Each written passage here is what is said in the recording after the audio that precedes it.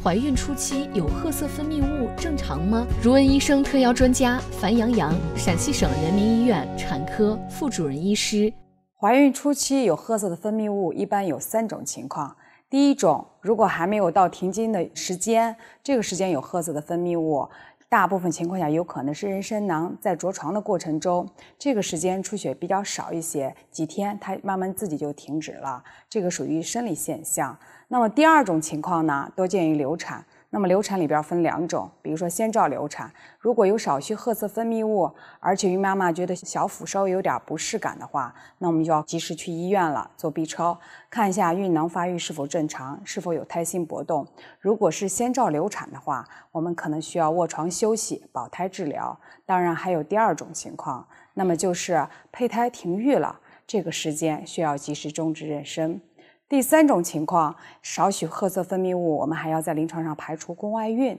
那么就要做相应的处理，可能需要保守治疗或者及时手术。第一种情况的话，这种情况，如果你觉得有少许褐色分泌物，呃，而且还没有到来月经的时间，建议也是及时去医院，我们可以做一个血 hCG 的检查，血 hCG 就可以排除是否怀孕。